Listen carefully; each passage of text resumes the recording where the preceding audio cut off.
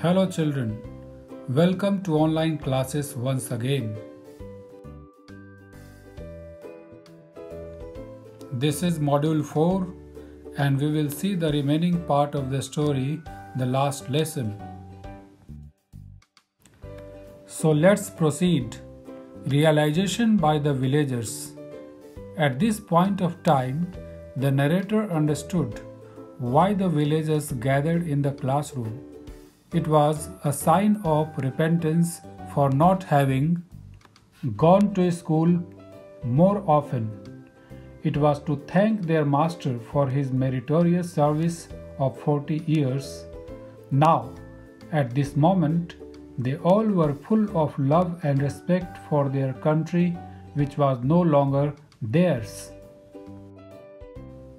Narrator's failure and M. Hamel's views. While the narrator was thinking of all this, he was asked to recite the rule of participle. It was expected that he would recite the rules properly, but everything got mixed up and he felt guilty. But M. Hamel did not scold him. He commented upon man's nature of postponing things. He also made the people realize the irony of calling themselves Frenchmen but not being able to speak or write their own language. This is really ridiculous. M. Hamel understands that France is not alone responsible for this downfall. M. Hamel and parents were equally responsible for this humiliating situation.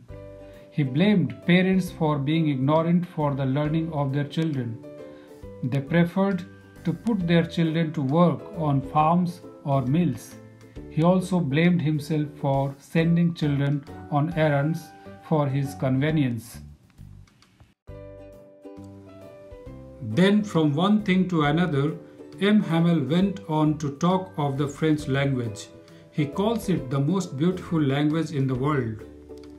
He asks the people to always guard it and never forget it, as their own language is their identity.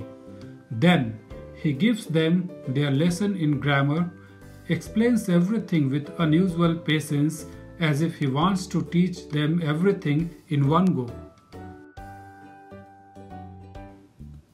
This is the end of module 4. Rest we will see in the next module. Thank you and have a wonderful day.